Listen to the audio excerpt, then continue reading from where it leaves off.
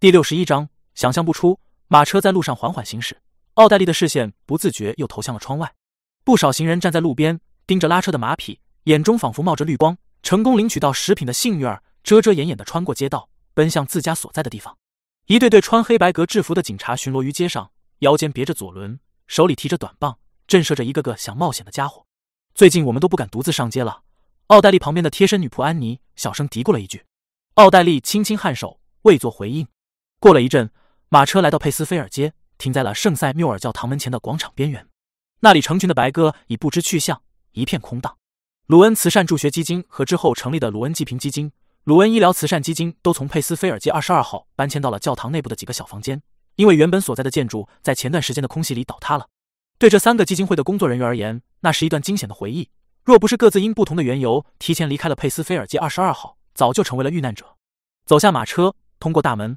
奥黛丽看见一位黑发褐瞳、脸型偏瘦的少女迎了过来，不等对方开口，她主动说道：“梅丽莎，还有食品可以发放吗？”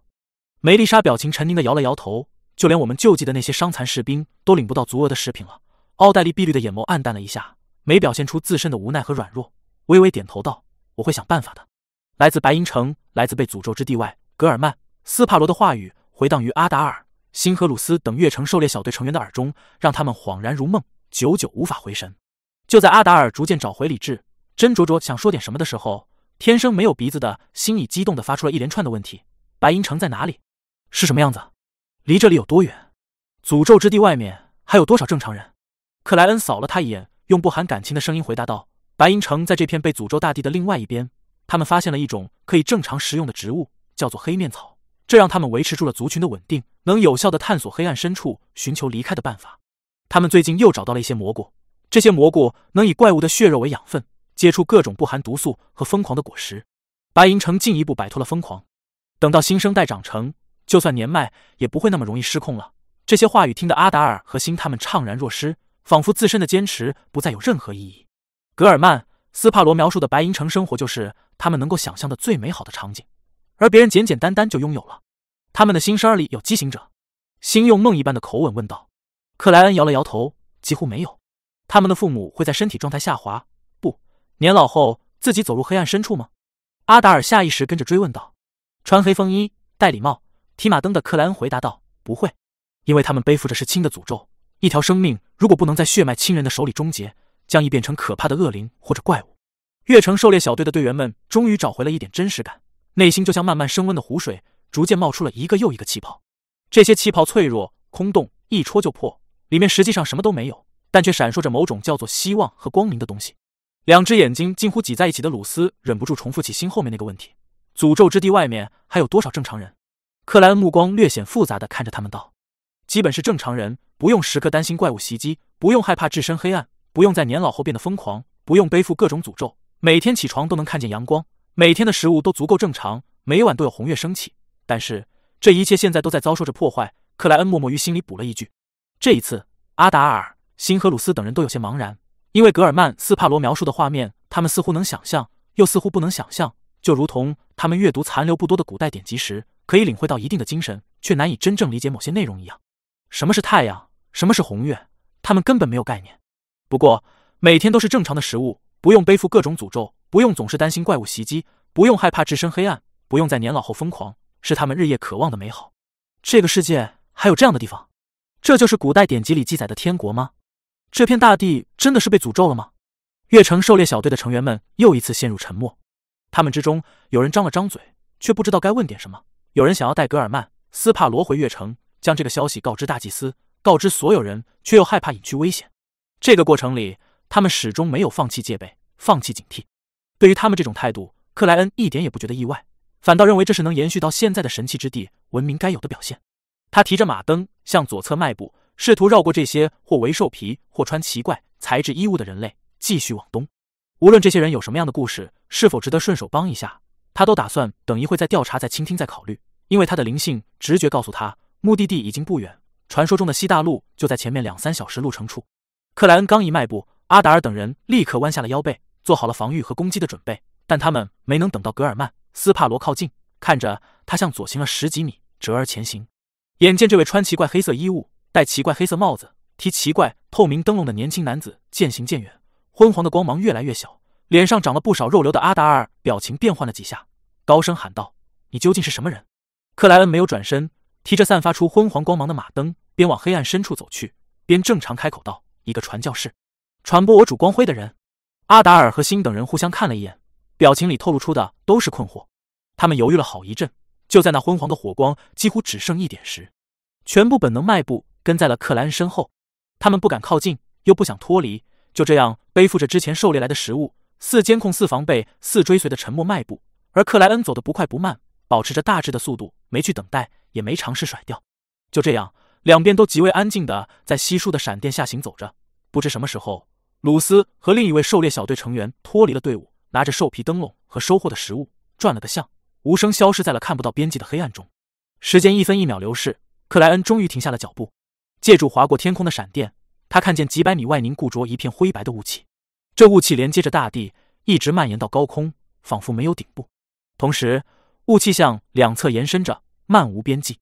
克莱恩专注的看了好久，哪怕中间有黑暗隔断，也一直缓慢仰头往上。在第二道闪电平息后，才收回了视线。这雾气之后或者之中，就是消失的西大陆。克莱恩心情凝重的想着，呼吸都忍不住放慢了一些。他提着马灯继续前行，一直到那昏黄的光芒都能照出凝固的雾气。无需做别的尝试，克莱恩的占卜家直觉就告诉他，那片灰白雾气是无形的屏障，不是常规方法能够通过的。他想了想，伸出右手向斜前方的黑暗里抓了一下又一下，连续四五下后。克莱恩从空气内拖出了一根镶嵌着多种宝石的黑色手杖，这是星之杖，被克莱恩用旧日之河交换来的，编为零杠六十二的恐怖封印物。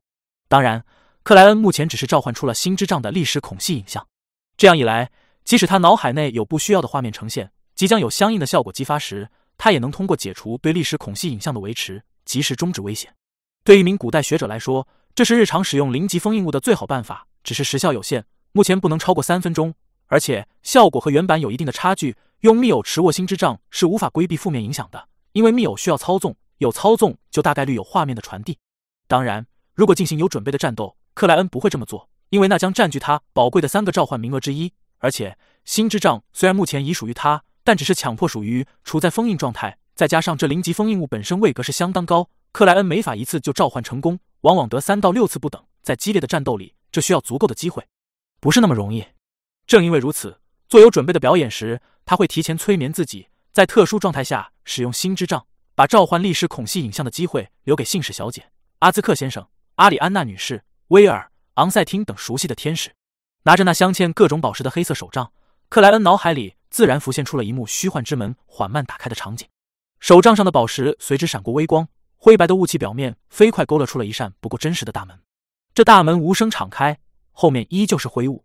开门不行，克莱恩对这个结果不算意外，但依旧有点失望。他想了想，准备换个方法。可是就在他想的时候，心之杖随着画面的呈现自行激发了。第六十二章传播光辉。刚才克莱恩思考办法的时候，脑海里自然就想到了一幅画面：两座山峰间的云海急剧沸腾，向着左右分开，露出了一条幽暗看不到底部的缝隙。橘红色的黄昏光芒填入其中，形成了实质的道路。这是独身者阿蒙进入巨人王庭梦境投影时制造的场景，而就在克莱恩觉得自己对相应能力没有足够了解，打算换一个方法时，星之杖上镶嵌的红、绿、蓝、透明等宝石已绽放蒙蒙微光，自行激发凝固的灰白雾气同样沸腾了，只是不那么剧烈。它们倒卷着向两侧分开，但前方依旧是无边无际的灰白，根本没有尽头。克莱恩在心里叹了口气，一边注意对思绪的控制，一边做起别的尝试。三分钟里，他至少进行了十次努力，有七次是自身愿意，有三次属于应激而发，但都没能打开那无形的屏障。正常的办法果然不行。克莱恩手腕一抖，让已接近维持极限的零杠六十二历史投影消失在了现实世界。他凝望着那片毫无声息的灰白雾气，几十秒没有一点动作，就如同原地变成了雕像。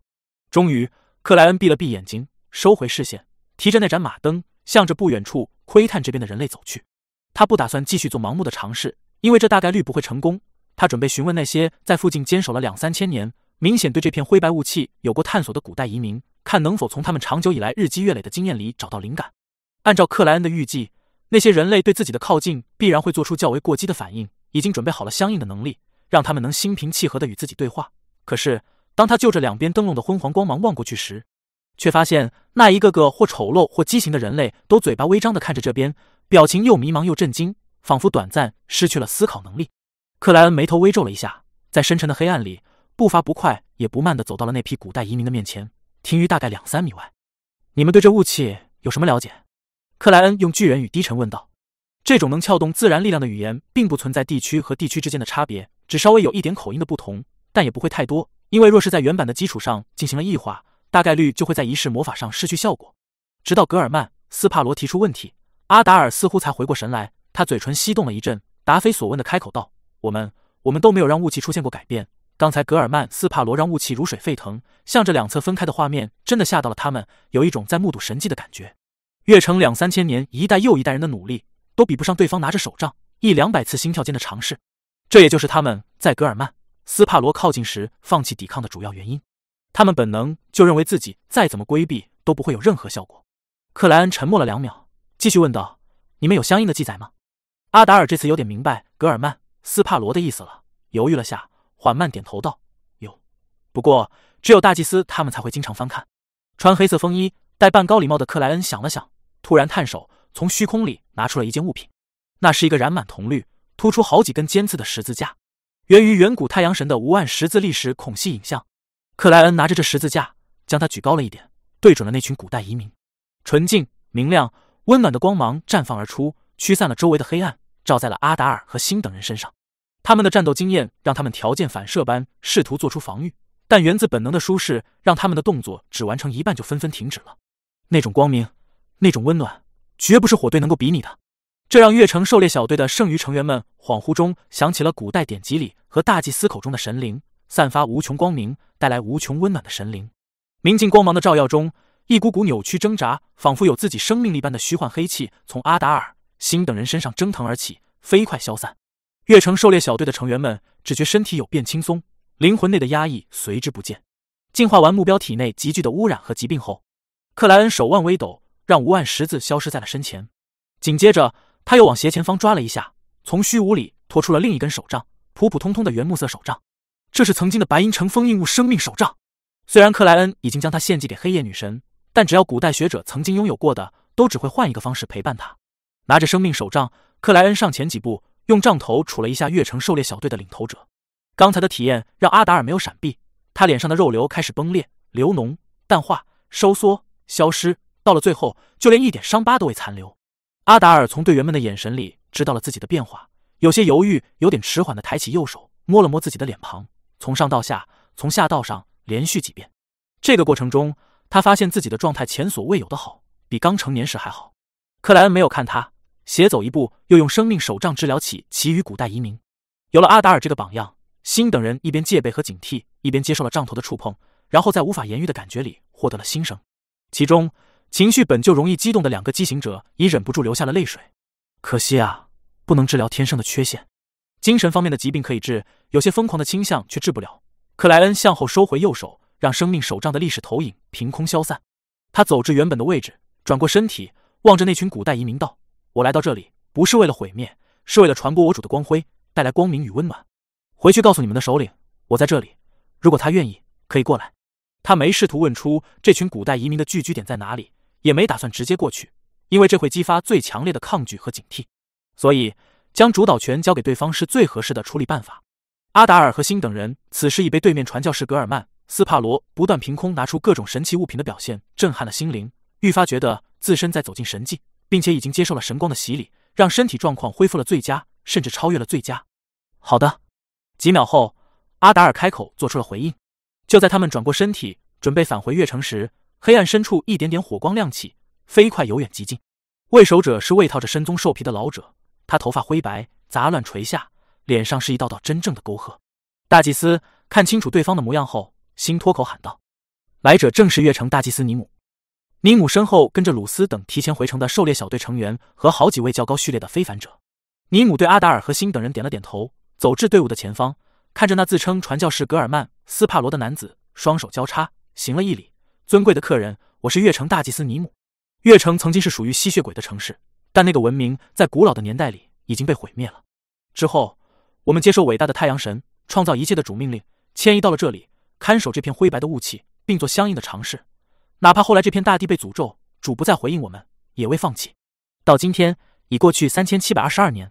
第六十三章永恒不变的迷雾。三千七百二十二年，果然是在远古太阳神还活着的时候被派到这边的。克莱恩有白银城在黑暗中坚守了两千多年做参考，轻松就能印证月城大祭司尼姆的话语。他轻轻颔首，开口问道：“你们看守这片雾气，是在预防它发生异变？”裹着深棕兽皮的月城大祭司尼姆摇了摇头，主给我们的神谕是：每日看守，注意是否有人从雾气中走出。从雾气中走出，远古太阳神预感到这片雾气中会走出一个人。如果雾气里，或者雾气另外一边真的是西大陆，这是否表明里面可能还有生命，还有文明？克莱恩听得心中涌现出了一阵难以言喻的悸动，但又深刻的认知到了一个事实：阿蒙的父亲，第二代造物主，竟然都没法打开这片灰白的雾气，需要派人到这里看守。是必须有特定的办法才能通过这无形的屏障。呃，倒吊人先生提过，天灾女王高希纳姆说，也许需要咒文或者口令。还有，前提是西大陆已经重现。克莱恩看着那位脸上有一道道明显沟壑的月城大祭司，表面不动声色的说道：“我想他们已经向你介绍过我，我是一个传教士，来这片大地是散播主的光辉。”月城大祭司尼姆保持着平静，用和长发同色的灰白眼眸望向克莱恩道：“阁下，你信仰的主是哪位存在？”克莱恩本能就想直接回答。可考虑到之前预设的传教士身份，又忍耐住羞耻，以小丑的能力控制脸上的肌肉，露出略显狂热的神情，道：“请允许我向你们介绍我的主，这片大地的拯救者，伟大的愚者先生。”愚者，月城大祭司尼姆和阿达尔等人没想到会听见这样一个单词，一时又认为奇怪，一时又莫名觉得这仿佛藏着无穷的哲理。最终，他们的注意力还是放在了那句描绘上：“这片大地的拯救者。”尼姆忍不住侧头看了阿达尔他们一眼，打量起。他们焕发着光彩的脸庞。作为一位序列似的半神，他很清楚这是体内急剧的毒素和污染已被净化的表现，并且狩猎小队的成员们还得到了很好的治疗。若非他看着这批年轻人长大，记得他们发生异化前的样子，现在肯定不敢确认这就是月城的居民。见大祭司望来，阿达尔立刻略显激动的说道：“斯帕罗阁下祈求来了神灵的赐予，拯救了我们。是我们看见了光，我们感受到了温暖。”没有鼻子的星井跟着补充道。经过刚才的洗礼，他已不知不觉对格尔曼斯帕罗口中的主产生了一定的信仰。比起永远不会回应祈祷、漠视着月城苦难遭遇的造物主，这位存在更像神灵。鲁斯和另一位回月城通知大祭司的狩猎小队成员贪婪地看着之前的同伴们，对他们获得的新生又羡慕又向往。大祭司尼姆收回视线，重新望向穿奇怪衣物、戴奇怪帽子的格尔曼斯帕罗道：“伟大的愚者先生是这个世界，不，这片被诅咒大地之外的神灵。”克莱恩郑重而缓慢的点了下头。是的，那伟大的太阳神创造一切的主呢？尼姆犹豫了一下，还是问出了心中最渴望知道的那个问题。克莱恩改用一种神棍的口吻道：“王们背叛的那位存在，鲜血、愤怒、污秽和阴影开始流淌于这片大地，巨大的灾难因此开启。”尼姆的瞳孔略有放大，似乎要吸纳更多的光以看清楚眼前的世界。他艰难的竭力压制着什么的开口问道：“您的意思是，主因此？”因此陨落，不仅仅是陨落，血肉还被背叛者们分食，这片大地因此被诅咒。克莱恩仗着在神器之地，大胆地说出了这句话。他没有刻意区分阿蒙兄弟与其他六位天使之王，打算让月城的居民认为所有天使之王都是背叛者。这样一来，将来他们就不会被阿蒙蒙骗了。这大半年的跋涉和各种试验，让克莱恩确信神器之地真的被封印着，或者说从方方面面都和外界隔绝了。仅有的连通点，要么是巨人王庭那个出口，要么是元宝这种层次的事物。所以，克莱恩在这里使用心智障，只能于内部转移，无法前往脑海内勾勒出的那个外界场景。另外，旧日之河，甚至连历史孔隙影像都被压制着、隔绝着。克莱恩刚一召唤成功，投影立刻就被环境吞噬了，根本没法使用。这让他怀疑，旧日之河第三层，哪怕对真神、对真实造物主都有些危险。听到格尔曼斯帕罗的话语。月城大祭司尼姆的身体轻微晃了一下，布满沟壑的脸庞瞬间灰白。他身后的非凡者们脸色也都出现了变化，仿佛遭受了极为严重的打击，有的甚至直接有了失控的征兆。克莱恩见状，再次探手从虚空内拖出生命手杖，让他在空气的推动下飞出，准确触碰到了目标。那位非凡者的失控征兆立刻消失，额头汗水淋漓，仿佛刚生完一场大病。随着克莱恩解除对历史投影的维持，生命手杖飞快淡化。而月城的非凡者终于从刚才的噩耗里挣脱，有的满是怀疑，不愿相信；有的低声哭泣了起来；有的将迷茫的目光投向了格尔曼斯帕罗，似乎这是最后的希望。大祭司尼姆不知什么时候已闭上了眼睛，两三秒后，他重新睁开，看着格尔曼斯帕罗道：“您还有什么想问的？”这不到一分钟的时间里，他整个人似乎一下苍老了十几二十岁，身体都透出了腐朽颓丧的感觉，但又不是完全的绝望，仿佛树木烂掉，却开始孕育新的希望、新的生命。克莱恩半转过身体，用手里提着的马灯指了指那片凝固的灰雾：“你们从什么时候开始尝试打开这个屏障的？有什么收获？”大祭司尼姆坦然说道：“最初是主的神谕，他让我们在看守的同时，试着想办法通过这片雾气。在大地被诅咒之后。”我们为了寻找希望，将这作为了主要的方向，但始终没有实质的收获。无论我们用什么办法，这片凝固的雾气都没有反应。说到这里，尼姆迟疑了一下，道：“也不是完全没有反应，但并不是我们想要的反应。”克莱恩一下看见了希望，保持着语速的正常，开口问道：“是什么反应？”见大祭司有些犹豫，没立刻回答，心主动说道：“大祭司斯帕罗阁下刚才已经分开了部分雾气，比我们这两三千年做的更加深入。”尼姆忍不住又深深的凝视了格尔曼斯帕罗一眼。然后说道：“一千七百三十多年前，当时的大祭司在月城近两千年尝试都没有收获的残酷事实面前，有了一个灵感。他感觉不能纯粹的将这片雾气当成需要打开的屏障、需要突破的封印，而是视作一个伟大的存在来对待。他为这片雾气设计了尊名、祈祷词和相应的符号，在这里举行了一次又一次仪式，尝试沟通，尝试祈祷。这真是正常人想不到的思路啊！我刚才就没有想到。果然，这么多年下来。”月城肯定也出了不少思维奇特的人，三千多年的时光不是白给的。克莱恩内心一阵感慨，微微点头道：“之后有了反馈。”尼姆用鼻音做出肯定的答复，接着说道：“有一次，那位大祭司将尊名的第一句修改为了永恒不变的迷雾，然后接下来的仪式里，他在尾声部分隐约听见雾气深处传来了一阵阵声音，可惜怎么都听不清楚，无法尝试解读具体的意思。从那开始到现在，我们举行过的仪式难以计数，发现并不是每次都有回应。”而即使有回应，也未必会那么及时，需要耐心等待。克莱恩脑海念头飞快转动，边思索边问道：“大概多少次能成功？”没有规律，有时候一次就成功了，有时候一个月也未必有反馈。大祭司尼姆叹了口气道：“我们做过不少改进，但都没有用处。后来你们听清楚了那些声音在说什么吗？”克莱恩转问道：“没有，也许是我们的序列还不够高，实力还不够强。”尼姆摇了摇头：“如果是这个理由，那我可以试一试。”克莱恩斟酌了几秒，很有礼貌的请求道：“你们能再举行一次正确的仪式吗？我想听听那些声音。”这样的礼貌让尼姆无法拒绝，也不敢拒绝。他犹豫了一下，道：“可以，但许多材料在月城，您需要等待一段时间。”克莱恩想了想，开口问道：“你曾经用过那些材料吗？”“用过。”尼姆略感迷惑的说道。克莱恩淡漠点头道：“那就直接举行吧。告诉我最近一次用到那些材料是什么时候，在附近哪里？”第六十四章。声音。听完大祭司尼姆的回答，克莱恩提着马灯，沿那片灰白的雾气向右侧走了二三十步，然后他半闭上眼睛，仿佛在感应什么，这让跟随于侧后方的月城非凡者们完全不敢发出声音，害怕打扰到神使。过了四五秒钟，克莱恩伸出右手，缓慢地往前方的空气里抓了一下，一座石头搭建的祭坛随之从虚无里落入现实，上面摆了三根油脂制成的蜡烛和七八种灵性材料。身为序列四半神的尼姆看得怔了一下，似乎有点不相信自己的眼睛。他之前看格尔曼斯帕罗拿出手杖治疗同伴，只是以为对方拥有空间方面的能力，或是得到了那位愚者先生的眷顾。可现在他的判断完全被推翻了，因为那个祭坛、那几根蜡烛、那些灵性材料，他都很眼熟，都是他曾经用过的。他竟然能将我用过的事物弄出来，这是源自历史、源自时间的力量。尼姆回想月城残余的部分典籍。结合自己对半神的认知，初步有了一定的猜测。这时，克莱恩回过头来，望着这位大祭司道：“你可以开始了。”尼姆悄然吸了口气，在阿达尔、辛和鲁斯等人的注视下，一步步走到祭坛面前，制造出了灵性之墙。看了眼祭坛上铭刻的符号、标识和花纹，确认没有问题后，他按照已刻入自己记忆里的流程，异常熟练地举行起仪式。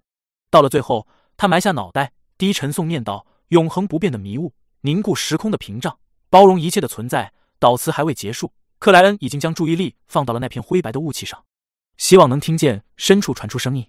为此，他让暗中控制的行于周围黑暗的大量怪物密偶分散了开来，每隔一段距离摆放一个雾球，不放过任何可疑的痕迹。但直到仪式完成，他什么异常都未察觉。又等待了一会，克莱恩才将目光投向月城大祭司尼姆，平淡说道：“再来一次。”贝克兰德皇后区霍尔家的书房内。得到允许后，奥黛丽推开房门走了进去。他的父亲霍尔伯爵和哥哥希伯特正在讨论一些事情。哦，宝贝，你的脸色似乎不太好。霍尔伯爵将目光投向了门边。奥黛丽没用扮演，真心的勉强笑了笑道：“济贫基金的食物有了很大的缺口，我想再募集一些。今天拜访了许多贵族，但他们都告诉我已经没有多余的粮食了，哪怕用金棒购买也一样。”说这些话时，那些贵族或是在小客厅，或是在专门用于下午茶的地方，面前摆放着高品质的红茶和多种精美的甜点。时不时请奥黛丽评价一句家里甜品师的厨艺。他们的仆人脸色红润，步伐很轻，几乎不发出声音，以免打扰到贵客。现在这个局势啊，霍尔伯爵闻言叹了口气。奥黛丽想了想，认真说道：“爸爸，我记得家里应该还有不少食物，我是否可以花钱买一部分？”奥黛丽，你已经做的太多了，不需要再这样。希伯特·霍尔微皱眉头，开口说道。而奥黛丽只是望着自己的父亲，没对哥哥的话语做出回应。霍尔伯爵因女儿到来轻松了不少的表情，又慢慢变得严肃。奥黛丽，慈善的前提是不影响自己和家人的生活，这是我希望你牢记的一个准则。身着金白两色长裙的奥黛丽眉头微皱，又舒展开来，诚恳地说道：“爸爸，家里囤积的粮食足够这栋房屋内的所有人吃一整年，甚至更多。而且东切斯特郡那边也还有很多粮食，因为岭东郡还未完全陷落，通过歼海军入侵的福萨克军队并没有袭击东切斯特郡，而海上的福萨克。”英蒂斯、费内波特舰队被鲁恩的几支铁甲舰队压制，只能勉强周旋，保护海上补给线。霍尔伯爵看着女儿碧绿如宝石的眼睛好几秒，忽然叹息笑道：“奥黛丽，你真的长大了，有自己的想法和不错的坚持了。但是我们谁也不知道这场战争还会维持多久，不知道最后会是怎样的结果，必须预留很多的食物来应对这一切。我可以接受每一餐都少两道美味的佳肴，以此帮助那些困难的人们。”但不希望让我的餐桌变得像报纸上说的那些中产阶级一样，这会让我们完全失去作为贵族的体面。这是我们每一代都在坚守的东西。你明白我的意思吗？我刚才只是做了个比喻，事情的本质是我更重视家族的存续和未来，重视我们的身份和地位。只有在不影响他们的情况下，我才展现我的爱心和善良。奥黛丽，我说的话或许很残酷，但你已经长大，是时候听一听了。每个人都是自私的，只是程度不同而已。在我的心里，整个霍尔家族的重要性是超过我和你妈妈，超过你。超过希伯特和阿尔弗雷德的，在这些之外，先是信仰和好朋友，其次是熟人们，最后才是遍布整个贝克兰德需要救济的人。如果不影响前面的那些，我不介意帮助他们。但很可惜，我现在必须考虑更多的事情。说到这里，霍尔伯爵自嘲地摇了摇头，很抱歉，让你知道你的父亲是这样一个自私的人。奥黛丽专注听父亲说话的过程中，表情先是微有变化，旋即沉淀不见，直到结束，都没再有任何额外的情绪呈现。此时。他默然了一阵，再次问道：“可我们已经拿到了超过本身所需太多太多的东西，哪怕从中分一部分出来都不行吗？”希伯特·霍尔有点恼怒的插言道：“为什么要将我们辛苦获得的东西分给别人？这是我们地里、牧场里、林地里出产的，这是我们花金棒购买的。而金钱和资产是家族传承下来的，是父亲用精准的眼光和强大的魄力赚到的，是一代又一代积累的。我们做慈善帮助别人，是额外展现爱心，而不是我们必须去做。”明白吗？霍尔伯爵点了点头。希伯特说的大致没有问题，这也是我的想法。奥黛丽抿了下嘴唇，缓慢的点了点头，道：“我明白。”霍尔伯爵收回视线，对希伯特道：“囤积的食物必须看守好。如果战争的结果真的无法逆转，你试着联络英蒂斯那几个家伙，给出我们的诚意。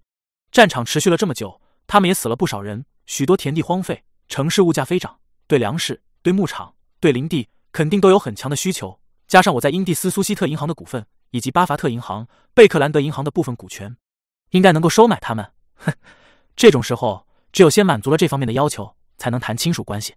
英蒂斯和鲁恩经常有联姻，许多贵族间都是亲戚，尤其争气的信徒们。爸爸，你在考虑投降了？希伯特有些诧异的问道。霍尔伯爵轻轻颔首，又一次叹息道：“现在这种局势，我怎么可能不考虑？到时候你就是新的霍尔伯爵。”希伯特听得怦然心动，又颇为不解：“爸爸。”你呢？霍尔伯爵苦笑着回答道：“我和你妈妈都是虔诚的信徒，在教会也有一定的地位。等到鲁恩陷落，教会覆灭，我们如果还不愿意离开前台，结局不会美好。”说到这里，他宽慰了长子一句：“只要霍尔家族还在，爵位还在，核心资产损失不多，我们就不会有太凄惨的晚年。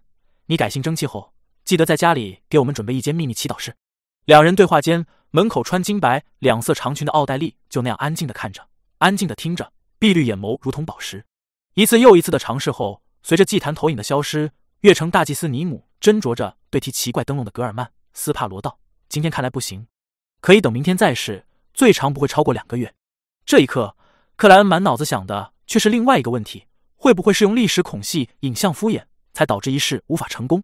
他深刻的检讨了下自己，决定听月城大祭司的话，明天再来尝试。到时候一定要让对方带上真实的材料。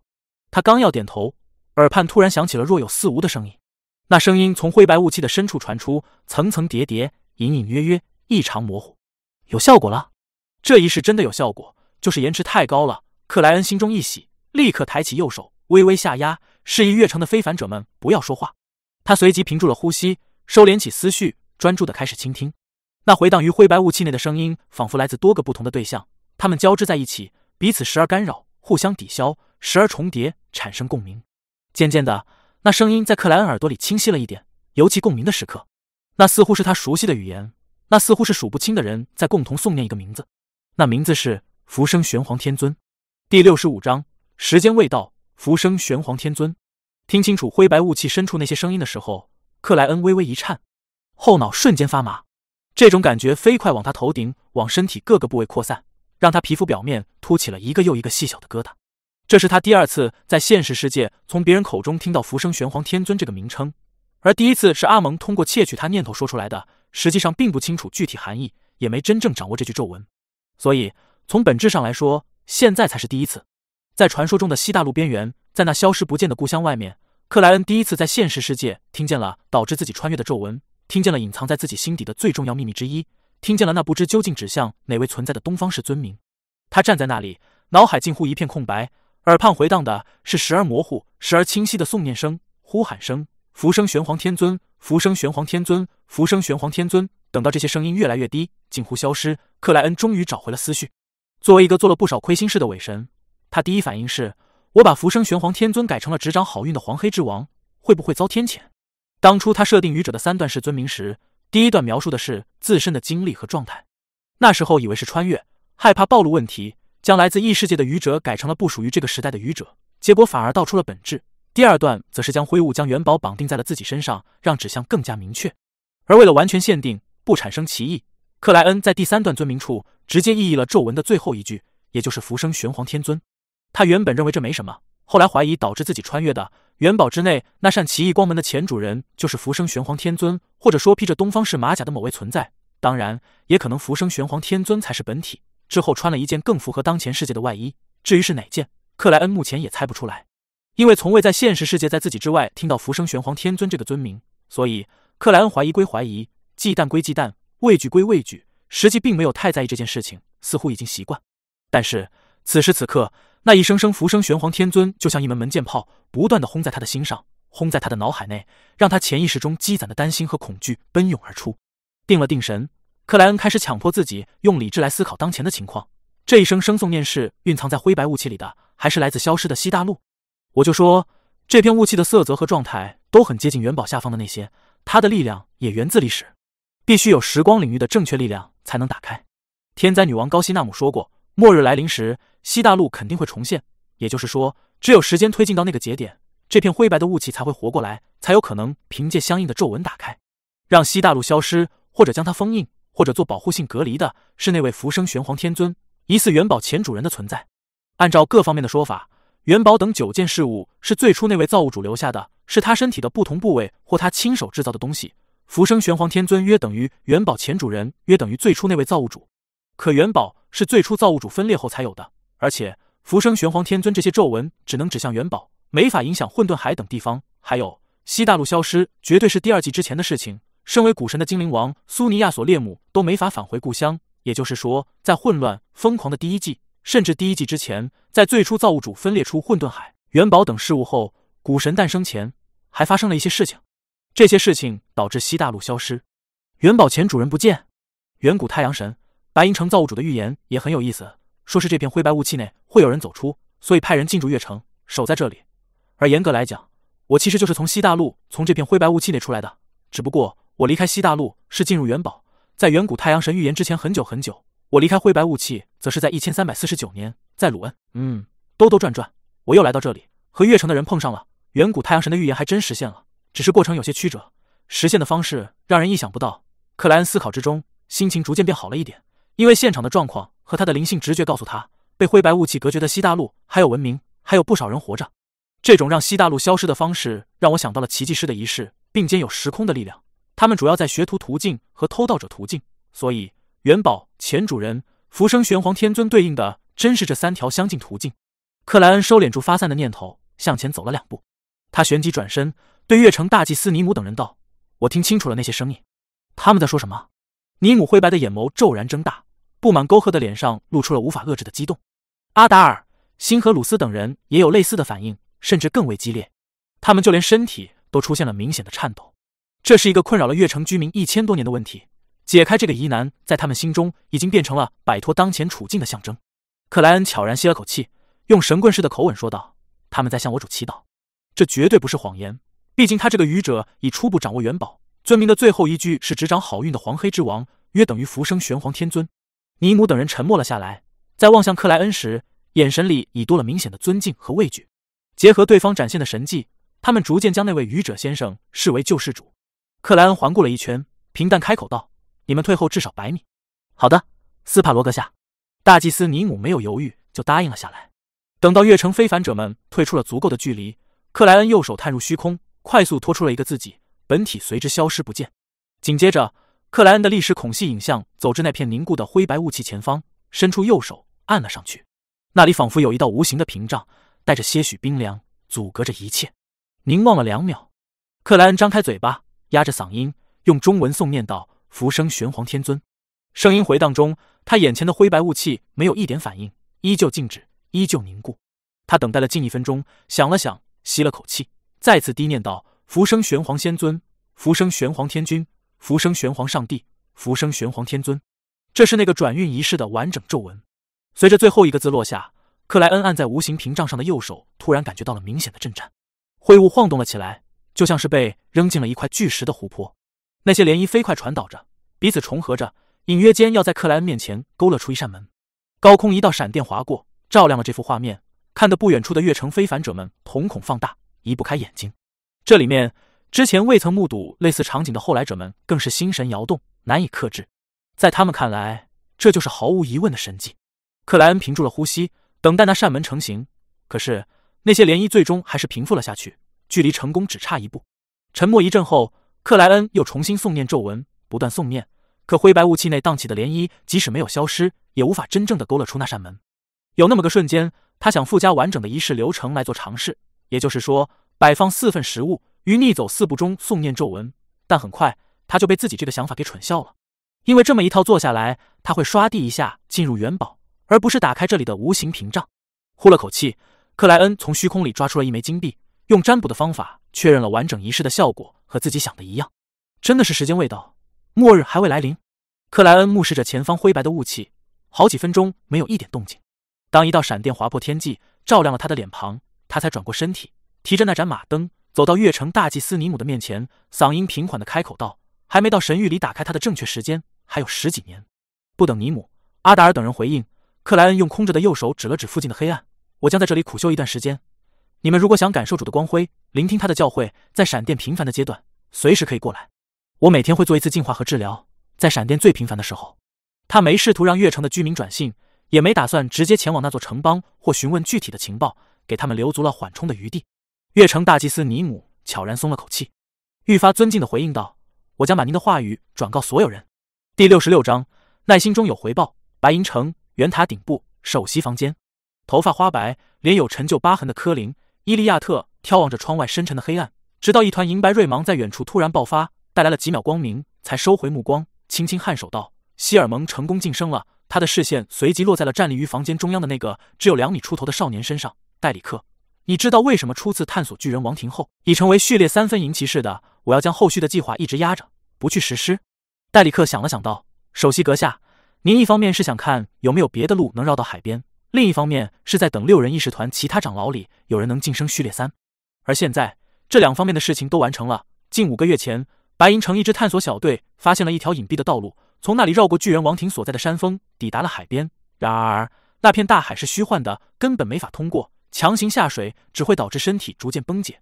如今六人议事团另一位半神维特。希尔蒙终于晋升，成为了序列三的银骑士，可以拥有自己的尊名，在一定范围内响应白银城其余居民的祈祷。克林·伊利亚特叹了口气道：“很好，对事情的认识很清晰，很全面。如果不是实在没有办法，我确实不希望带着你们再次进入巨人王庭，尝试打开沉睡着暗天使的宫殿。”说到这里，猎魔者科林停了一下，才继续说道：“我不知道这样的探索会带来多大的危险，只能提前做好充足的准备。现在，希尔蒙总算成功了。”即使之后发生意外，我们无法返回，他和其余长老也能支撑起白银城，让一切可以继续维持，等待下一次机会。他打量了戴里克几秒，认同的点了点头，道：“你的成长比我预想的更好。如果不是巨人王庭之事由你而起，我真的很想将你留在白银城，以六人议事团预备长老的名义。”听到这里，戴里克伯格毫不犹豫就回答道：“即使您想将我留在白银城，我也要申请前往。这是他看见的曙光，这是他心目里能拯救白银城的一个机会。”为此愿意付出一切，克林·伊利亚特少有的露出些许微笑。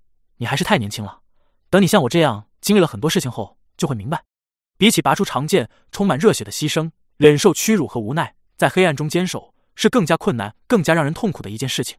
如果你不相信，你等下可以去问希尔蒙，问他是愿意率领探索小队前往巨人王庭，还是留在白银城。戴里克陷入了沉默，张了张嘴，却说不出话来。克林。伊利亚特未再继续这个话题，转而问道：“你的光之祭司魔药彻底消化了吗？”“上周就已经彻底消化了。”戴里克坦然回答道。科林·伊利亚特点了点头道：“辅助材料搜集齐了吗？”戴里克嗯了一声：“都搜集到了，只差仪式还没准备好。他的仪式需要剥离最强烈、最不愿意舍弃的情感，并在服食魔药后回书。经过塔罗会几次聚会的探讨，以及正义小姐私下的尝试，目前已经有了成熟的方案。”借助这位序列四操纵师对心灵领域的掌控，以愚者先生的天使之拥为平一来完成。猎魔者柯林未作催促，平静说道：“不要着急，对巨人王庭的第二次探索还要等一段时间。等我成为无案者。”戴里克主动问道。柯林·伊利亚特没有否认，微微点头道：“也在等洛威亚成为黑骑士，他的材料和仪式都已经准备好了。”听到这句话，戴里克顿时有了压力。罗斯德群岛首府慷慨之城拜亚姆。海浪教堂附属钟楼的顶端，风暴教会枢机主教、代法者高级执事海王亚恩·考特曼立在栏杆后，眺望着已不是那么蔚蓝的大海，以及上面漂浮的燃着火焰的船只残骸。哼，在我的领海，哪怕战争主教也得低下头颅。这位身体肌肉块垒分明、脸庞线条刚硬深刻的半神边收回视线，边低语了一句：“他有一头粗如小虫的深蓝头发和一双深蓝的眼睛，掌控着罗斯德群岛周围的天气和海洋。”立在这位海王旁边的阿尔杰·威尔逊没有表现出丝毫的烦躁，耐心的等待着亚恩·考特曼将注意力转移到自己身上。水手途径的非凡者，除了大部分比较暴躁，还有面对同途径的高位者时往往站立服从的共同点，这源自暴君的特性。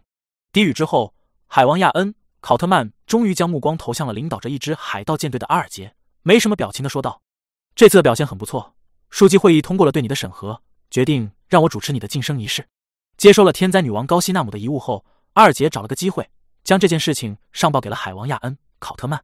他从到苏尼亚岛原始森林内探寻精灵遗迹之事说起，原原本本交代了自己的遭遇，仅仅只修改了两个细节：一是将主动前往精灵遗迹说成为了埋伏福萨克人的部队，特意寻觅合适的场所，这有当时在场的多位水手证实；二是淡化了之后行动的自主性，只说探索精灵遗迹的当晚梦到了某个女性上位精灵，喝了她一杯酒之后没发生什么异常。也就没太过在意。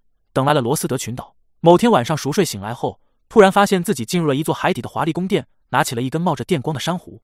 虽然有多方面的人证和物证说明阿尔杰的描述是真实的，但海王亚恩·考特曼并没有完全相信，将他送回了帕苏岛，接受教皇加德二世的审查。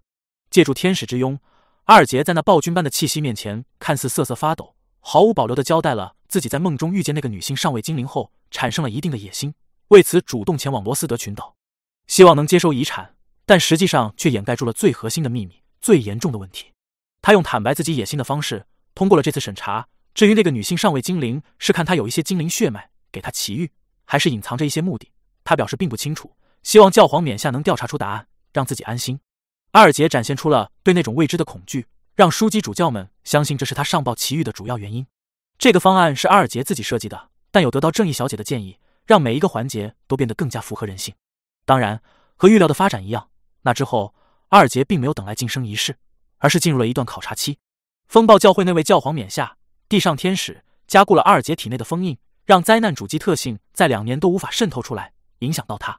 这大半年里，阿尔杰带领着分配给自己的海盗舰队，努力的骚扰着福萨克、费内波特的船只，甚至直接参与海战，冒着不小的风险，立下了一次次功劳，充分展现着自己对风暴之主的虔诚，对教会命令的遵从。终于，最近这场罗斯德海战后，局势愈发困难后，他等来了枢机会议的认可。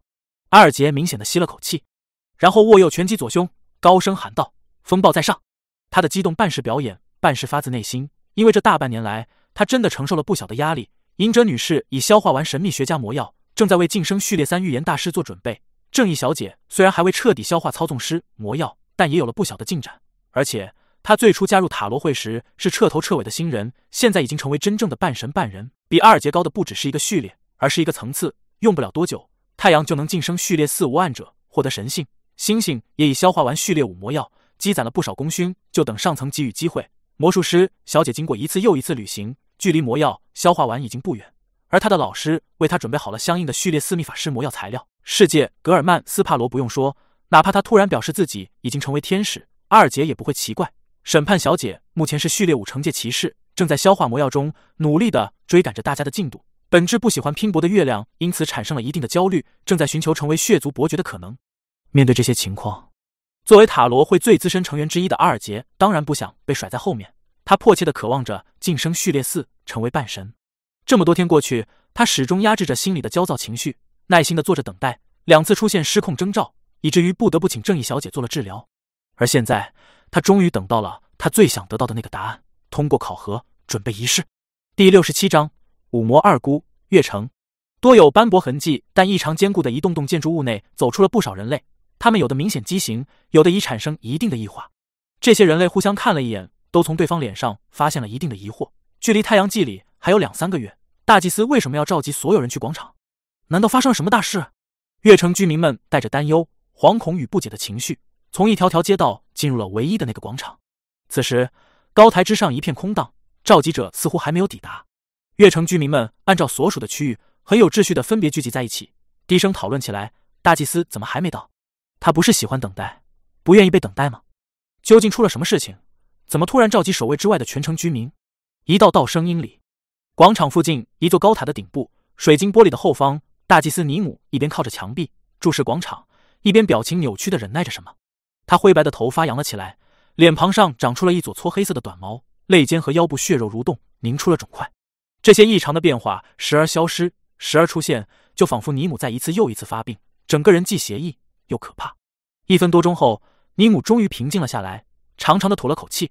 抬手抹了抹额头沁出的冷汗，他刚才是在对抗自己体内积攒的疯狂。其实，不管哪一条非凡途径，都是序列越高，疯狂与非人的倾向越严重，这会逐渐超越本身的人性，必须依靠外在的毛帮助才能维持足够的平衡。正常来说，序列四和序列三时，这种情况还不是那么明显，而到了天使层次，即使有足够的毛来固定，也会时不时陷入阴暗、负面、异变的状态，必须独自忍受和对抗，等待缓和。这就像一个神圣庄严的存在。平时看起来没有任何问题，能回应你的祈祷，与你正常聊天，甚至开几句玩笑。但某些时候却只能躲在黑暗的房间内，藏于阴影中，撕掉表层皮肤，露出阴质的一面，展现种种疯狂的迹象。尼姆则是由于经常食用怪物血肉，累积了不少毒素污染和疯狂，才在序列四就承受类似的痛苦。当然，那种不懂扮演法，靠时间或运气提升上来的序列四、序列三也会这样。调整好状态，尼姆转身离开房间。借助一扇虚幻之门，直接出现于广场中央的高台上。所有的讨论一下平息，月城居民们将蕴藏着疑惑和不安的目光投向了这位大祭司。尼姆环顾了一圈，直截了当的开口道：“阿达尔率领的狩猎小队遇到了一位外来者。”外来者！月城居民们的眼睛骤然睁大，有种高空的雷霆直接降临在了城中的感觉。两千多年了，月城第一次遇到外来者。当然，这指的是有理智能交流的人类，而不是怪物。尼姆无声吸了口气，继续说道：“他自称是散播神灵光辉的传教士，他让那片灰白的雾气产生了明显的变化。他清除了阿达尔他们体内积攒的污染和毒素，并治疗了他们身体的异变。”说话间，尼姆对高台侧方点了下头。躲于阴影里的阿达尔核心立刻穿过一根根火把，走到了他的旁边，用自身的状况证明着对方刚才的话语：“死神啊！这是阿达尔核心，他们真的真的一声声惊叹脱口而出，错愕与诧异的情绪交织在一起，宛如实质。阿达尔和星对视了一眼，上前两步，将自己狩猎小队的遭遇原原本本讲了一遍。听到黑暗中浮现的那点火光，听到那个散发出明净光芒的十字架，听到那能治疗异变和疾病的手杖，听到灰白雾气向两侧分开以及形成大门的表现，听到狩猎小队成员们对自身良好状态的欣喜描述，月城居民们逐渐沉默了下来。他们之中，有的人已不知不觉流下了眼泪，那是因为无比疲惫和极端压抑中，终于看见了一道光。这眼泪带着略温和咸咸的感觉，淌过脸庞，划过嘴角，滴落于地。另外，还保持着理智和清醒的人抬高手臂，表达了自己的意见。那个传教士会不会是黑暗深处的特殊怪物？阿达尔核心是不是已经被控制、被影响，才有这样的表现？等到疑问的浪潮平息，尼姆低沉而清晰的说道：“我检查过他们，也用封印物检查过，暂时没有发现任何异常。我会让他们继续待在黑塔，接受至少十五天的观察。”做出承诺后，尼姆顿了一下，道：“那位叫做格尔曼·斯帕罗的传教士将在灰白雾气附近苦修一段时间。他允许我们去那里感受他信仰的那位神灵的光辉，聆听相应的教诲。而他每天会在闪电最频繁的时候做一次净化和治疗。所有人都可以选择前往，但必须事前报备，听从安排，不能私自行动，影响到城邦的防御。而去了那里的人回来之后，都将像阿达尔和辛他们一样隔离十五天。”月城居民们全部沉默。你看我，我看你。下不定决心。这时，之前回城通知大祭司未能得到净化和治疗的鲁斯与另一位狩猎小队成员站了出来。大祭司，我想去。好，明天我来带领这支队伍。尼姆轻轻颔首，答应了下来。他本打算给这样一支队伍按一个名称，可始终没想到好的描述，只能磕巴了一下，直接略过。在他心里，其实有一个名称，但不敢说出，那是朝圣者。有了鲁斯他们带头，好几位月城居民站了出来。表示自己愿意冒险尝试。当闪电频率由低变高，新的一天来临，由七八个人组成的月城队伍提着兽皮灯笼，开始在黑暗里跋涉，前往那片灰白雾气的边缘。黑暗与光明不知交替了多少次后，鲁斯等人的眼中忽然映入了一抹火光。那是一堆正缓慢燃烧的篝火。穿奇怪衣物、戴奇怪帽子的格尔曼·斯帕罗坐在另外一边，拿着一根铁黑色长签，正烤着什么。篝火的周围躺了一具又一具怪物的尸体，这些尸体上。长着各种各样的古怪事物，它们有的洁白饱满，似乎一戳就会有液体喷出；有的以黑色为底，镶嵌着血色细丝和脂肪花纹；有的布满金色的斑点，顶部的盖子有手掌大小。这些事物密密麻麻，覆盖了怪物尸体的不同部位，带着一种妖异而诱人的美感。前行几步，大祭司尼姆发现格尔曼·斯帕罗烤的正是那些奇怪事物里的一种。一滴滴油脂掉落在火中，发出滋滋的声响，让光亮更加明显，让一种诱人的奇香散溢了开来。咕噜。队伍里的越城居民们本能吞了口唾液，产生了强烈的、难以遏制的食欲。他们的每一个细胞都在疯狂地呐喊：“我想吃，我要吃，给我吃！”坐在一块石头上的克莱恩抬起脑袋，指了指周围怪物尸体上生长的鲜艳事物，嗓音低沉的说道：“它们叫蘑菇，分为不同的种类。如果你们愿意，可以自行摘取食用，但不能碰全黑的那种，而且必须足够熟才能入口，否则将遭遇可怕的诅咒。”月城大祭司尼姆想了一下。代替其他人做出了回答。我们想先聆听您那位主的教诲，感受他的光辉。克莱恩轻轻颔首，边转动自己从历史孔隙里召唤出的烧烤长签，边开口说道：“你们可以坐下听。”等到那七八位越城居民坐至篝火对面，他表情庄严的说道：“我从巨人王庭而来。”这是越城居民们都熟悉的一个名词。他们精神顿时一振，将注意力从篝火上烤灼的事物移开，投向了格尔曼·斯帕罗。接下来，克莱恩像之前那样描述了白银城的状态。和诅咒之地外的情况，并说了说自己沿途以来看见的城邦遗迹。这听得越城居民们时而唏嘘，时而向往，时而难以置信，时而感同身受，悲不可遏。讲到一半，克莱恩突然停了下来，收回手中的铁黑色长签，将它凑至嘴边，咬下了一个蘑菇。那浓郁的肉汁随之沁出，带着微烫的感觉洗礼着他的口腔。在神器之地大半年后，克莱恩已战胜了对蘑菇的反感。毕竟达尼兹时常得受他指派去做一些事情。没法精心的准备食物献祭，中间的空白只能用蘑菇填补。满足的闭了闭眼睛，克莱恩将手中的铁黑色长签递出，微笑说道：“你们可以试一试。”大祭司尼姆还在犹豫，鲁斯已是伸手，边感谢边弄了一个蘑菇下来，送入口中。他吃得太急，以至于口腔有被烫伤，但他的表情扭曲了一下后，却突然凝固。接着，他神情一点点舒展，逐渐露出沉醉、享受、渴望的感觉。到了最后。鲁斯的眼泪不自觉流了出来，嗓音低沉的抽噎着说道：“这是这是我吃过最美好的、最美好的食物。就算这么一代代下来，他们对食物的口感有出现异变，但人类怎么都是适应不了那种毒素和疯狂的，渴望着糖分，渴望着脂肪。这一刻，所有月城居民都听出了鲁斯的感动。第六十八章线索，你们也试试。克莱恩将手里的铁黑色长签递向了别的月城居民，那些人喉咙蠕动了一下，忍不住又吞了口唾液，但没立刻做出回应，纷纷将目光投向了大祭司尼姆，等待他点头。尼姆从裹在身上的兽皮衣物内拿出了一件物品，那似乎是一个油饼的放大镜。乍眼望去，克莱恩差点看成单片眼镜，吓得心脏都停了一拍，还好及时控制住了自己，确认了细节。尼姆握着金属细柄，将那玻璃制品凑至右眼前方，隔着镜片审视了鲁斯几秒。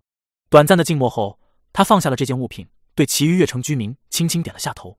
鲁斯之外的人们终于伸手，小心翼翼的、很有秩序的分别从铁黑长签上取下一个蘑菇，将它塞入口中。那不含一点恶心意味和污秽之意的口感，让他们瞬间陶醉，顾不得烫伤口腔，三两下就将蘑菇吞进了肚子里，并本能伸手想要再来一个。可是铁黑长签上的蘑菇都被分完了。尼姆将目光从铁黑长签上收回，等待着格尔曼。斯帕罗继续讲述他的经历和愚者的教诲。克莱恩环顾一圈，重复起之前说过的话语：周围的蘑菇可随意摘取，除了纯黑那种。另外，必须全熟才能入口，否则会遭遇诅咒。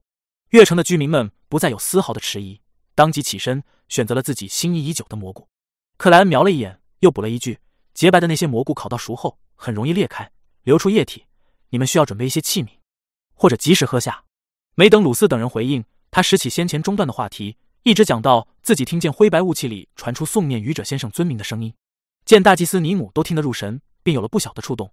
克莱恩斟酌着开口道：“能让灰白雾气产生反应的办法还有不少，但都与我主有关。”他这是一个合理的猜测，因为被悬吊的人不止一个，进入灰雾之上的办法不止一个。如果罗瑟尔大帝拿着他仿制的神秘银牌来到这里，大概率也能让这无形的屏障出现异变。当然，前提也许得是大帝属于占卜家、学徒、偷盗者三条途径之一。见尼姆等人没提出疑问，克莱恩和煦说道：“据我观察，月城的非凡途径并不单一。”灰白头发的尼姆未作隐瞒，简单回应道：“是的，我们被挑选来月城时，神使有意识的让非凡途径全面。可惜这么多年过去，一次次灾难后，许多途径的魔药配方和非凡材料都已经遗失了。你是哪条途径的？”克莱恩看着月城居民们利用怪物骨头翻烤蘑菇，状似随意的问了一句：“我是守夜人。”尼姆坦然说道。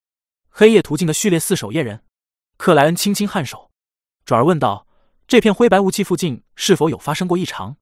脸上有着一条条沟壑的尼姆思索了十来秒，道：“有。”克莱恩心中一动，表面平静的就着这个话题问道：“什么样的异常？”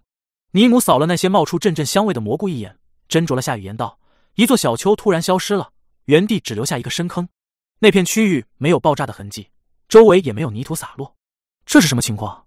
有点诡异的场景。”克莱恩一边将蘑菇的根须丢进火堆，让它们成为燃料，一边没任何表情变化的问道：“你们有做更进一步的调查吗？”“有。”月城大祭司尼姆点了点头道：“一支调查小队在那里遇见了一条魔狼，不是已经腐烂或异变的怪物魔狼，而是原本的那种魔狼。”“魔狼？”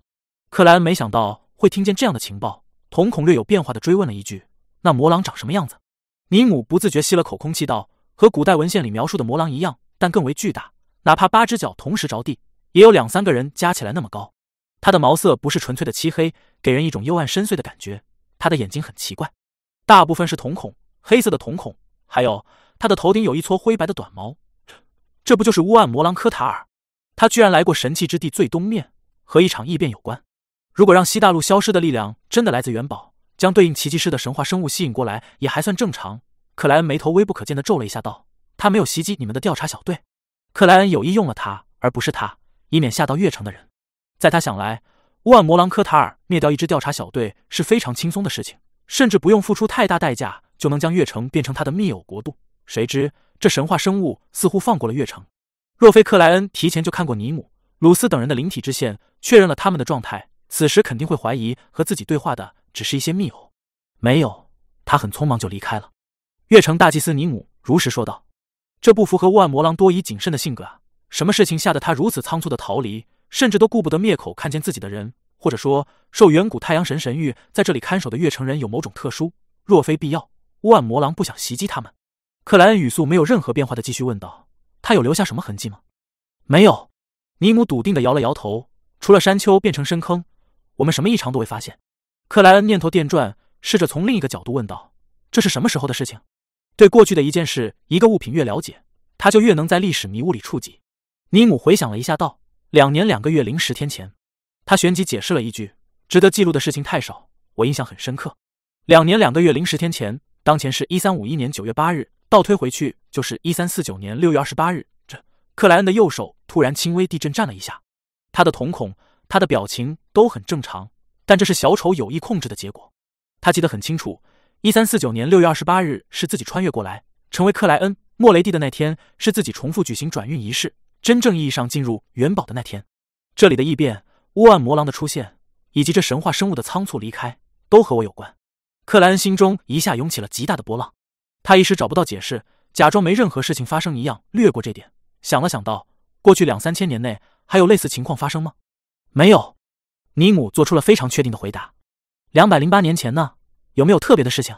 克莱恩追问了一句。“那是罗斯尔大帝穿越到这个世界的时间。”尼姆迟疑了两秒，道：“我无法告诉您准确的答案，需要回去翻看相应的记录。还好，最近三百年内的资料和文献没遭受破坏。”说到这里，他补了一句：“我有限的印象告诉我，应该没有特别的事情。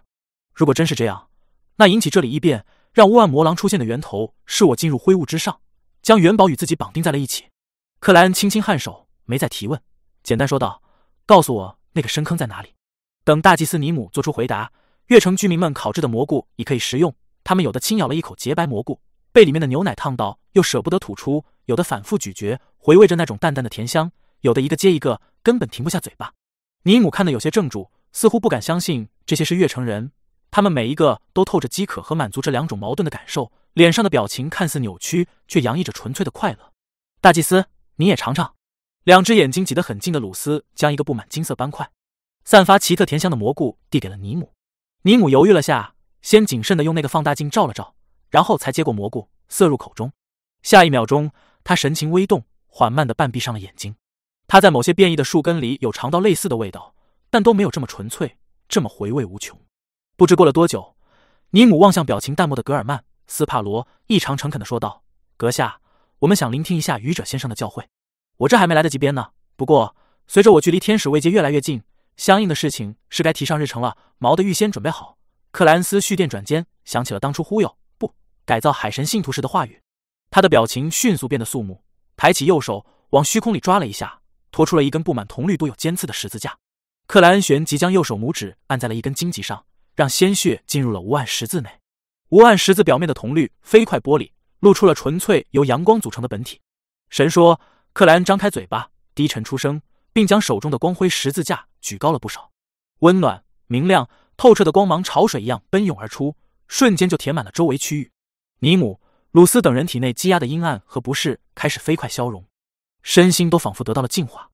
他们隐约有点恍惚，只听见那举着光辉十字架。浑身笼罩神圣色彩的神使庄严说道：“神说，第一戒不可活祭，不可以人为祭品；第二戒不可妄称我的名。第六十九章换一个目标。未被战争阴云笼罩的迷雾海上，未来号在一条条船只簇拥中缓慢地往着狂暴海方向航行。最近没什么事情，只是等待摩斯苦修会回应请求的心之上将加德利亚漫步于甲板上，享受着照穿了淡薄雾气的阳光。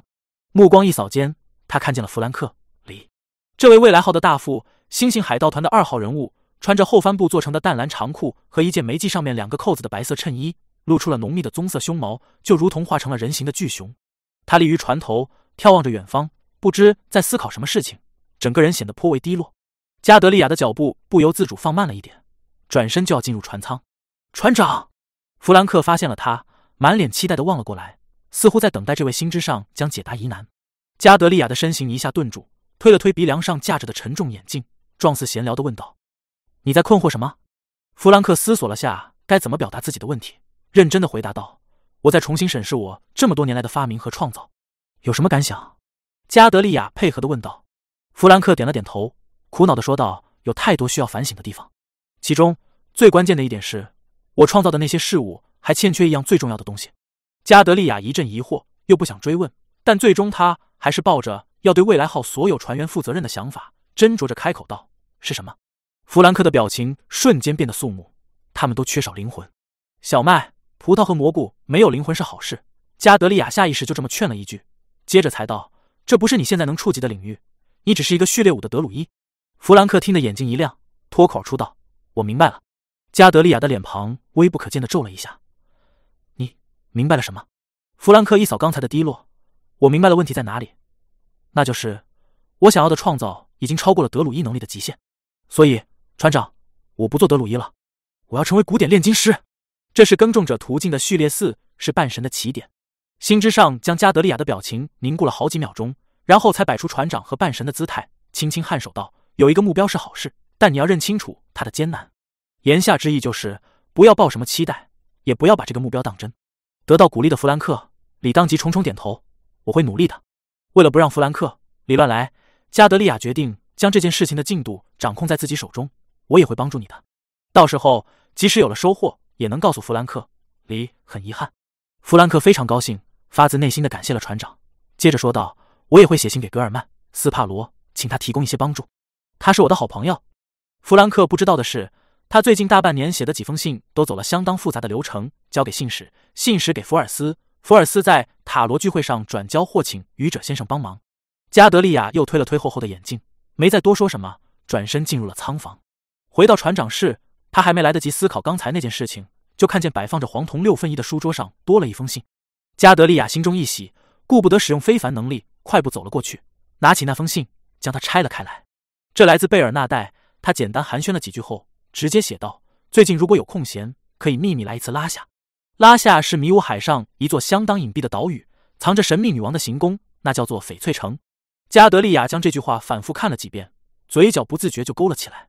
贝克兰德西区奥德拉家的别墅内，埃姆林怀特又一次见到了卡西米奥德拉。这中年绅士模样的血族男爵，尼拜斯大人怎么说？埃姆林控制了下自己的心情，努力让自己显得不是那么迫不及待。卡西米看着埃姆林鲜红的眼睛道：“他只是让我告诉你，整个血族都没有多余的伯爵非凡特性，只能等待现存的伯爵们有谁因年迈或意外去世留下遗产。血族相比人类有着漫长的生命，哪怕没有爵位，普通的成员也能活三百岁左右。这种情况下，他们可以一点点做积累，将每一个层次都占满。”不让太多的非凡特性空余出来，所以无论是普通成员晋升男爵，还是男爵成为子爵，都不是那么容易。要么等待现存者逝去，要么从外部获取，要么立下足够功劳，得到珍贵的赐予。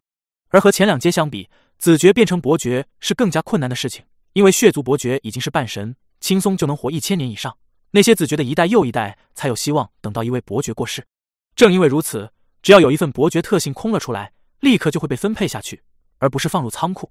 如果说男爵和子爵特性或多或少还有部分以非凡材料、封印物的形式存在于血族宝库中，只是数量不多，每一份的赐予都必须非常严格。那伯爵特性真的是没一点空余。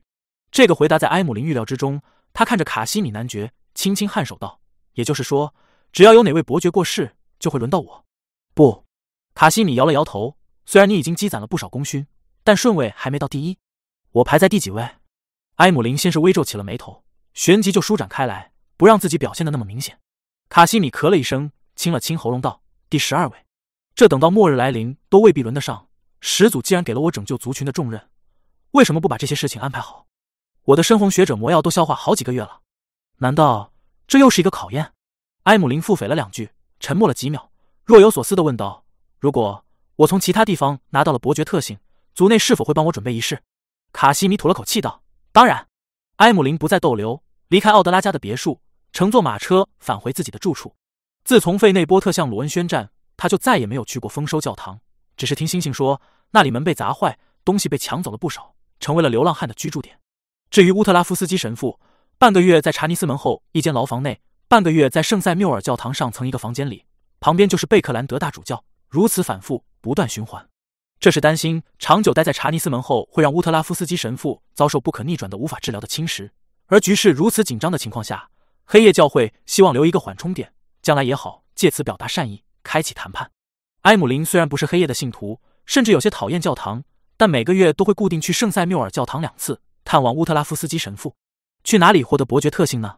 感觉自己已经落后，未必能承担起拯救族群责任的埃姆林，一边望着萧条的大街，一边认真的思考每一个可能。他很快有了一些想法。隐者女士提过，极光会的幽暗圣者放牧了一个巫王，这对应伯爵特性。如果能像诱杀秘制圣者一样狩猎这位牧羊人途径的半神，那问题就解决了。可是有了前面那次教训，幽暗圣者应该不会再轻易踏入陷阱了，也有直接引来天使之王的可能。这是塔罗会上大家讨论过的事情，得出的结论是：最近一年绕着极光会走，尽量不要再招惹。除了幽暗圣者处有序列四巫王特性，埃姆林、怀特能想到的只剩下一个地方——玫瑰学派。不管是生命学派的人造吸血鬼，还是南大陆原本就存在的原始月亮崇拜者。现在都属于玫瑰学派了，当然，肯定也有部分家伙追求自由，目前没加入任何一个组织，但要么序列不高，要么没足够情报流出。一想到玫瑰学派，埃姆林瞬间就记起了一个人——马里奇。马里奇代表的是玫瑰学派的节制派系，这是反抗欲望母树的势力。他们似乎也想从玫瑰学派那里得到一些东西，或许可以找他们合作。埃姆林幅度很小地点了下头。月城一部分居民略显焦急地聚集在入口处，不时将目光投向东方。他们是大祭司率领的那些人的亲属，同时也是月城绝大部分人的代表。终于，一点点火光浮现，大祭司尼姆带着鲁斯等人由远及近回到了月城。一个男子迎了上去，将目光投向了自己的姐姐，发现她脸上还残留着些许泪痕。这位不是畸形者的月城居民感受到了弟弟的注视，难以遏制心中悸动的张开了嘴巴，未语泪先流。神，神来拯救我们了！他哭了起来，哭得很伤心，哭得很肆意。第七十章。一块幕布，神，神来拯救我们了！那带着哭腔的话语回荡在月城入口处，听得等待的居民们一阵恍惚，备受震撼。凝固的灰白雾气边缘，静静燃烧的火堆旁，又吃了一轮蘑菇的克莱恩削掉手中的铁黑掌签，抬头望了眼月城大祭司尼姆描述的那个深坑所在的方向。他随即探出右手，轻轻一薅，拖出了一刻钟前的自己。彼此对视了一眼后，克莱恩本体急速消失，进入了历史迷雾里，狂奔到第一季前。坐于层层叠叠的旧日都市之上，他的历史孔隙影像站了起来，啪啪连打响指，在一道道蹿升的赤红焰流里闪现往目的地。等到山丘变成的深坑已近在咫尺，克莱恩停了下来，谨慎的又伸出右掌，将过去的密偶丘纳斯·科尔格从虚空里拖了出去。这个硬汉外形的多洛伯爵脸部肌肉一阵蠕动，飞快变成了另一个格尔曼·斯帕罗。他一手从历史迷雾里拿出了盏马灯，一手揉起额角，小声咕哝道。为什么密偶也得变个样子？这里又没有其他人在，不能养成强迫症。几秒之后，这密偶投影提着散发出昏黄光芒的马灯，一步步走向了不远处的深坑。光芒浮动间，克莱恩看清楚了目标地点，发现它其实并不深，最底部与地面的差距不超过两米。当然，如果与原本的山丘比较，这改变确实足够大。深坑内部泥土光滑，夹着少量石头，周围长了不少变异的、扭曲的、难以分辨品种的植物，看起来与其他地方没太大区别。观察了一阵，已悄然开启灵视和灵体之线视觉的克莱恩缓步进入深坑，预备按照规划的路线，将每一个值得重新审视的地方都绕一遍。走着走着，他眉头微微皱起，咦了一声，他发现自己的念头转动出现了一定的滞缓，却又不会影响到思考。这就像是睡太多后刚起床时的状态，脑袋闷闷的，思维不够活跃。这是一个人平时也偶尔会出现的情况，其他途径的非凡者或许无法察觉，但作为占卜家途径的半神。克莱恩能明显感受到异常，如果进一步深化下去，就接近密偶大师操纵灵体之线带来的反应了。乌暗魔狼科塔尔遗留的影响，不对啊！如果是他无意遗留的，说明他当时呈现出了完整的神话生物形态，那月城的调查小队早一个个崩溃失控了。若是他有意遗留，这么做的意义在哪里？告诉别人他来过？克莱恩颇感疑惑的走了一圈，没发现别的异常。想了想，他躲在第一季之前某个历史孔隙里的本体，逆走四步，诵念咒文。进入了灰雾之上，他要做一次占卜。有了具体的时间和地点，有了月城大祭司尼姆的描述和实地的勘察，有了点亮的历史碎片帮助，克莱恩相信占卜的前提条件已基本具备。这不能说足够，但勉强可以让他试一试了。而且，若山丘变深坑的事件真的与元宝与他本人有关，那占卜的成功概率会大大提升，启示会非常清晰，不受干扰。未做思索，早就考虑好细节的克莱恩坐到了愚者那张高背椅上。具现出暗红色的圆副钢笔和偏黄的羊皮纸，刷刷写道：“第五季一三四九年六月二十八日，这个地方发生的异变。”放下吸水钢笔，克莱恩左手一抓，从历史迷雾里拿了坨深坑泥土出来，以此作为占卜媒介。一手握着泥土，一手拿着那张羊皮纸，他靠住椅背，低念了七遍占卜语句，然后借助冥想进入了沉眠。灰蒙蒙的梦境世界里，克莱恩看见了那片灰白的凝固的雾气，看见了那几十米高的山丘，看见了周围扭曲变异的植物。几秒后，那片雾气突然有了明显的蠕动，飞快吐出了一道黑影。那黑影仿佛一块巨大的天鹅绒幕布，疯狂吸收着周围所有的光线。它带着半透明的状态，越变越大，彻底笼罩了那个山丘。山丘随之消失，连根不见，只遗留下一个深坑。同样被覆盖的深坑边缘，怪异植物们忽然多了一道道细黑虚幻的灵体之线，分别延伸向那黑色幕布的不同区块。幕布越来越透明，越来越虚幻，最终到了肉眼无法看见的地步。若非有灵体之线昭示实际情况，克莱恩也发现不了幕布就那样覆盖在深坑表面。画面闪烁，梦境扭曲，新的一幕呈现了出来。五人组成的月城巡逻队靠拢这边，发现山丘不见，多了个深坑。他们停下脚步，毫不犹豫就转身离开了这片区域，没鲁莽的上前调查。不知过了多久，另外一个方向上突兀冒出了一道巨大的身影，那是一头覆盖幽暗短毛、长了八条腿、足有四五米高的魔狼。这魔狼额头有一撮灰白的短毛。纯黑的瞳孔占据了眼睛至少四分之三的空间，正是为显现完整神话生物形态的万魔狼科塔尔。万魔狼抬起脑袋，张开嘴巴，似乎嘶吼了一声，但却没带来任何动静。下一秒钟，他身前多了一道身影，那是另一个他。这万魔狼的立式孔隙影像八只腿轻轻一蹬，瞬间就抵达了深坑旁。他环顾一圈后，小心翼翼地低头叼起了那块完全透明的、让整个山丘消失的幕布。这幕布突然活了过来，飞快收缩。倒卷上去，缠住了乌暗魔狼，如同给他加了一身半黑半透明的衣物。乌暗魔狼轻轻颤抖了一下，似乎两三秒间就变成了衣物的傀儡。但这只是历史孔隙里的影像，下一个呼吸就被本体解除了维持，直接消失。幕布失去支撑，瞬间瘫陷，摊开在了地面。乌暗魔狼科塔尔没有放弃，时而转化周围的怪物为密偶，时而召唤历史投影，让他们一次又一次上前，遭受了各种各样的失败。但最终，他的新一批密偶。还是拾取并控制住了那块幕布，这整个过程没有一点声响发出，仿佛在表演一场默剧。接着，那巨大的魔狼让密友们带着幕布靠近了自己。就在这时，附近的灰白雾气再次蠕动，形成了一个堪比山丘的漩涡。这漩涡散发出无形的吸力，让那块奇特的幕布和乌暗魔狼科塔尔同时投了过去。这样的场景导致克莱恩的梦境画面出现了一道道实质的波纹，迸裂出数不清的光点，让他难以看清楚具体的细节。等到一切恢复正常，乌暗魔狼科塔尔披着透明的幕布，飞速远离着重新凝固的雾气。而这时，月城调查小队抵达，看见了这古代从神远去的身影。科塔尔瞄了他们一眼，未作停留，消失在了黑暗深处。至此，画面破碎，梦境结束。克莱恩醒了过来，他坐直身体，手指轻敲起斑驳长柱的边缘，无声自语道：“那片凝固的灰白雾气，在我抵达前并不是没有发生过异变，只是月城的看守者们未曾发现。”毕竟这雾气延绵了不知有多长，灰白雾气吐出来的那块幕布是什么东西？大的时候能覆盖山丘，让它魔术一样变成深坑；小的时候可以成为魔狼的衣物，将它转化为傀儡，有点像占卜家途径的高层次物品啊！它被吐出是因为我进入灰雾之上，与元宝完成了绑定。它似乎能将周围的植物也变成自己的密偶，这给我一种熟悉的感觉。对了，在迷雾小镇内，房间内做好的食物是有问题的，都有灵体之线长出，延伸向最核心的那座教堂。一旦将他们吃下，整个人就会瞬间蒸发，消失不见。嗯，这是被悬挂到了教堂内，成为了密偶。也就是说，到了奇迹师或者诡秘使者位阶，可以让植物，让曾经具备灵的东西长出灵体之线，以此将他们变成密偶。那块幕布是奇迹师还是诡秘使者的非凡特性？看万魔狼的表现，很可能是后者。这就是那份诡秘使者特性长期失踪，只有线索，没谁能找到的原因。在元宝有主人前。灰白雾气会不自觉地吸引三条途径空域的高层次特性，将它们包容起来。这是试图做什么？那份吸力真的很强啊，把万魔狼科塔尔都吓到了，顾不得停留，只想逃跑。他在怀疑什么？畏惧什么？一番分析后，克莱恩脸上逐渐多了几分振奋之情。如果能成功狩猎乌暗魔狼这位天使层次的存在，那将是一场无与伦比的丰收。当然，拿到那块幕布后的乌暗魔狼绝对比以往更加难以对付。克莱恩在这件事情上的把握又降低了不少。思绪电转间，克莱恩豁然记起了一件事情。从时间节点看，乌暗魔狼抵达北方城邦伊基诺斯时，明显已经得到了那块幕布。他将全城转为密偶，制造一个傀儡之城，不是为了定居，不是为了积累帮手，是在准备诡秘逝者的仪式。